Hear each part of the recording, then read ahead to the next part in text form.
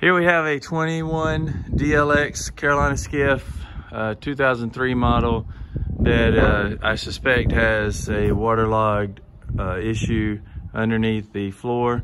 The way these boats are built, there is no drain because there is theoretically no way water can get underneath the floor. But as you see, no drain, only bailing holes. But as any Carolina skiff owner knows, every time you drill a hole for anything, you compromise the floor. And no matter how well you try to seal it up, somehow over years and years, water seeps in, creating excess weight, which slows down the boat and makes it draft a little deeper. So today we are going to try and add some garboard plugs and I'll show you those in just a minute, but we're gonna have identified a couple of places on this on the back here that we're gonna drill out and see if any water comes out. And for for this purpose, I've also jacked up the front of the boat as much as possible so that we have gravity doing its work so as you can see, it's jacked up pretty high. All right, before uh, we do any drilling, I wanted to mark off everything so it would be consistent. And so the drain, once again, is here. So I measured it over two inches and up one inch on both sides so that it would look consistent. And there really is no low spot on these boats because they are very, very flat.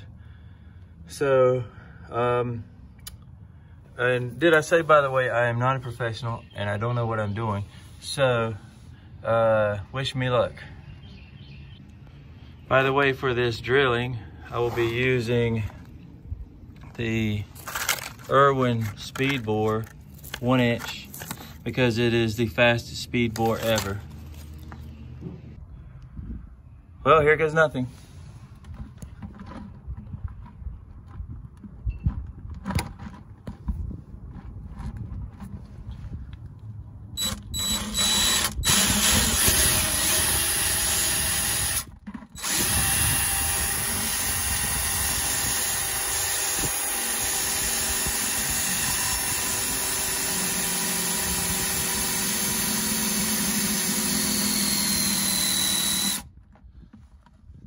So fast.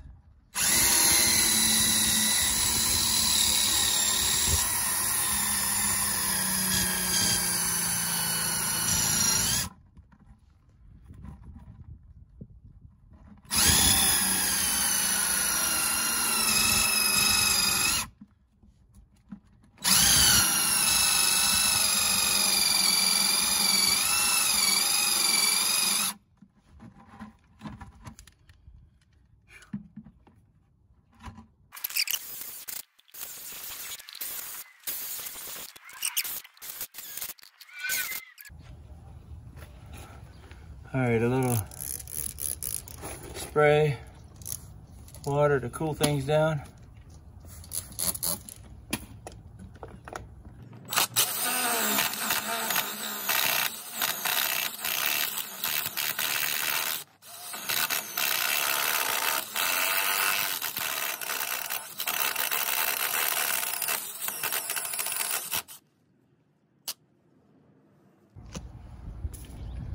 All right, here we go again. Fresh battery.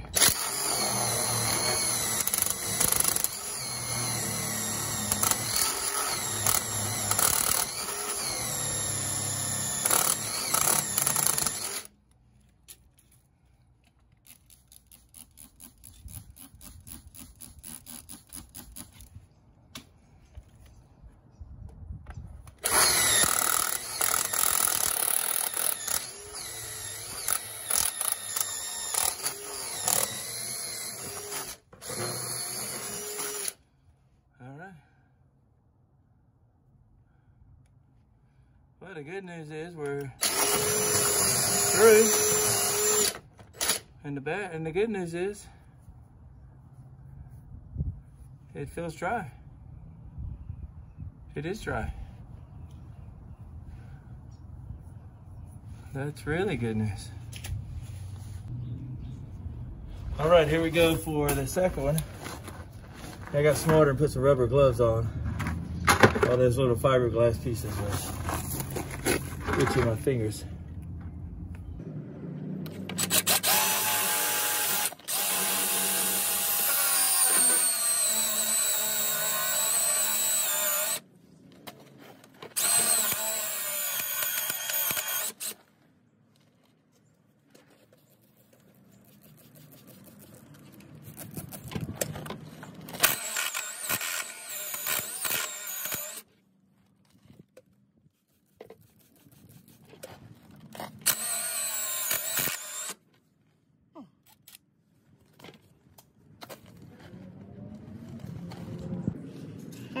Better, better angle.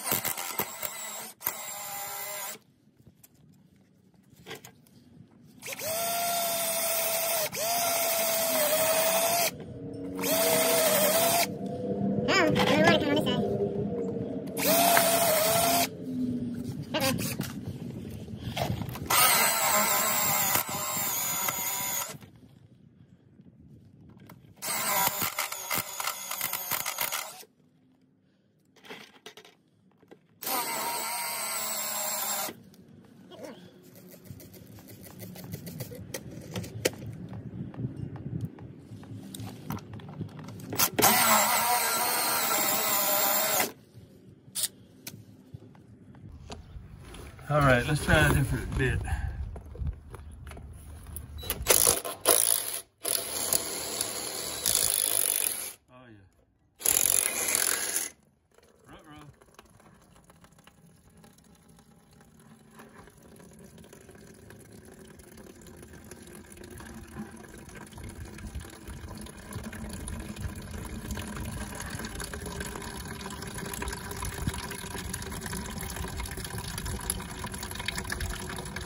Interesting.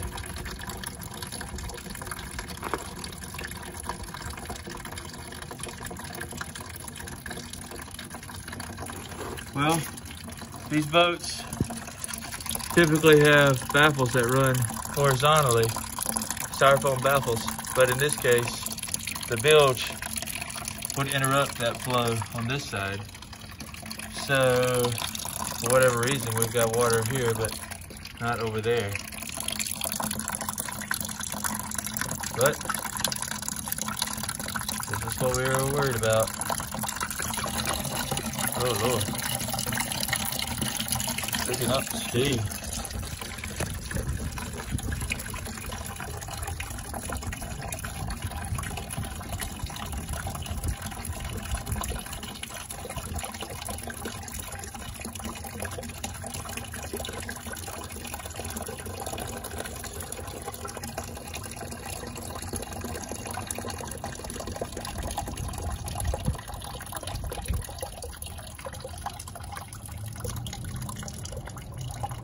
Some smelly water.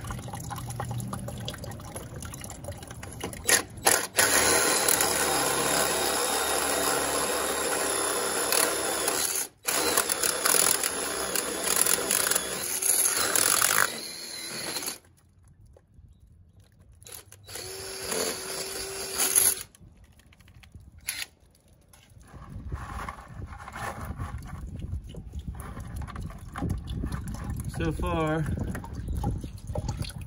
not that much, maybe half a gallon or so. All right, now let's see how wet this foam is.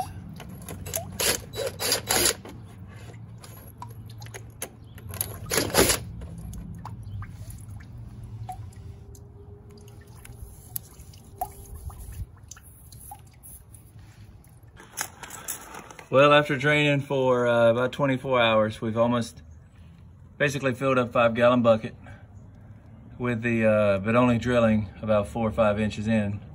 So today I've got this uh, 12 inch extension and we're going to give it another try.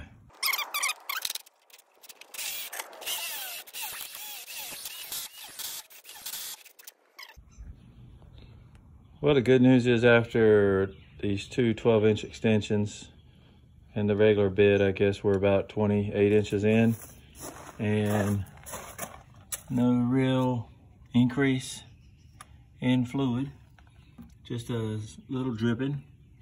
And, uh, but on the other side, we've kind of started to drip about at the same rate. So uh, tomorrow, supposed to get my uh, two 54 inch extensions. So we can go another 108 inches up into the boat, putting us at a total of 132 inches, which should put us past any screw holes that are in the floor of the boat where any water intrusion could occur. And we'll see what happens.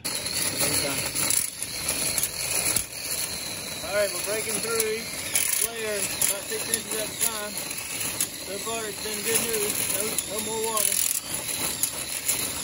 Haven't through the bottom of the boat. That's a good thing.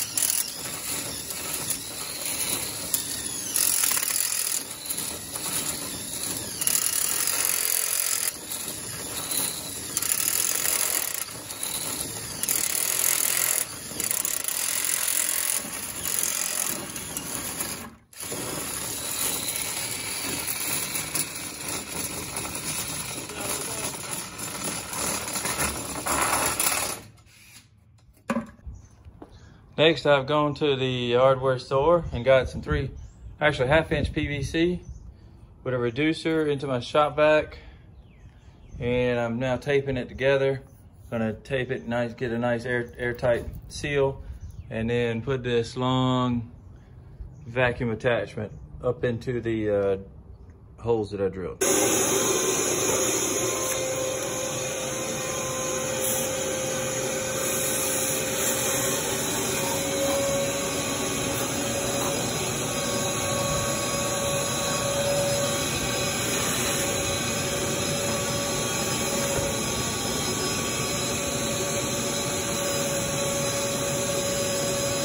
All right, so we got a piece of half inch PVC and we got it reduced down and uh, electrical taped to create a nice suction.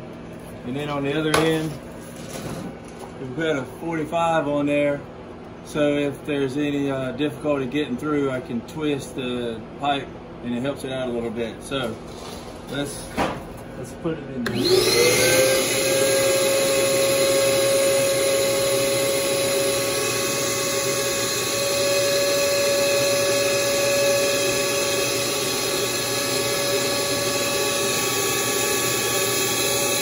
All right, it's 10 feet.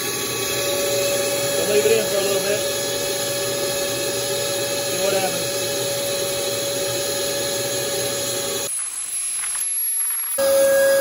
All right, now we hook the uh, hose to the exhaust, so we're blowing air in, and you can actually feel feel air coming from this hole, and it's pushing some water, extra water out. This is a little trickier part. It took a little while to design this, but I'm using a half inch end cap and then a typical blower and using a uh, basically a filler as if you would put um, air into a tire. I've screwed it into this end cap and now I'm going to glue it to the end of the PVC pipe All right, just a little, guess you could use any kind of PVC cement. I didn't have any, but this Gorilla Glue works really good and fast. So a little glue, put the cap back on, and then put my cap on, and now it's time to try it out. All right. All right, so here goes nothing. So, let's see if we can get this started back again. Uh, we know that it goes.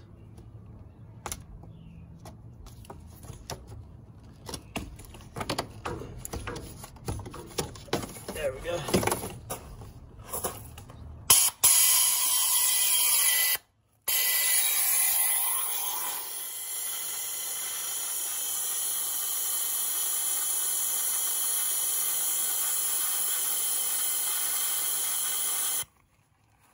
All right, now I'm gonna get a zip tie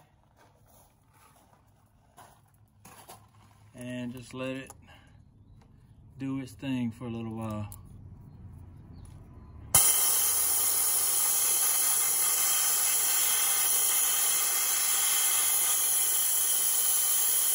And come over to this side.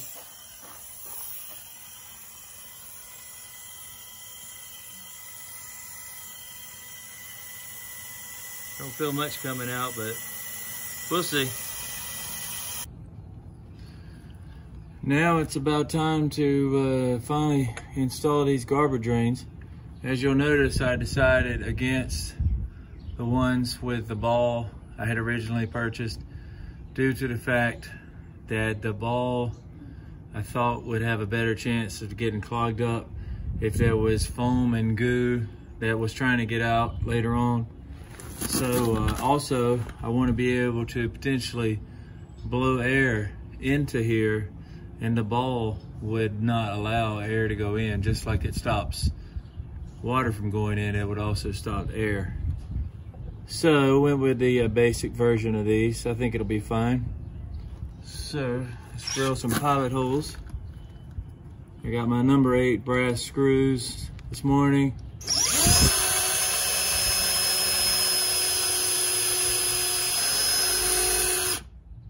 I think I'm uh, 330 using 330 seconds drill bit.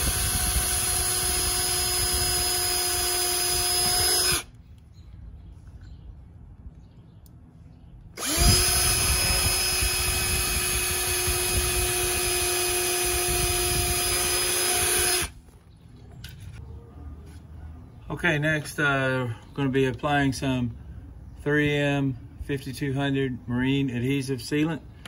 According to instructions, it's best to rough up your fiberglass a little bit. So I'm going to do that with a uh, 1000 grit sanding pad. Just a little bit.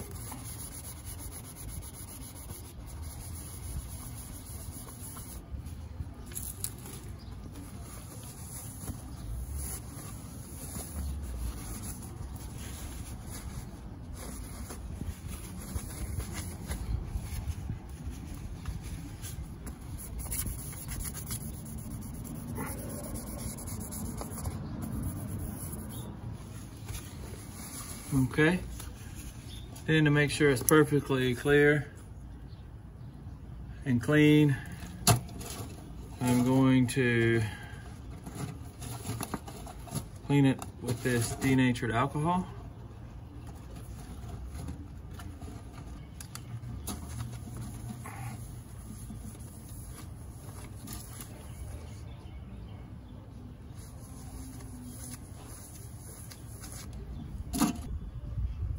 For the 5200 I've put on the little tip cut it. And I am going to install it around here and also on each hole just to make sure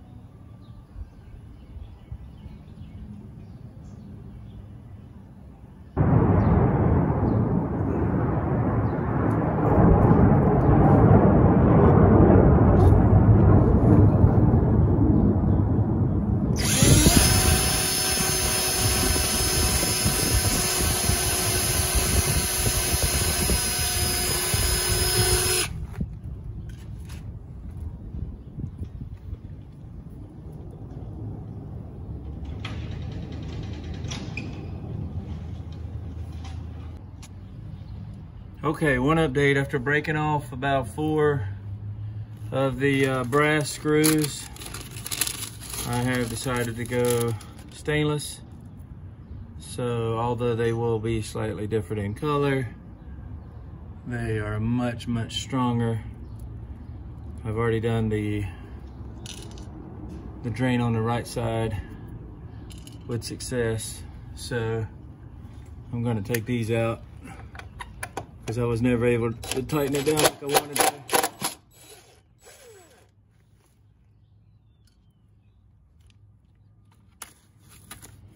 And I did decide to go with one size bigger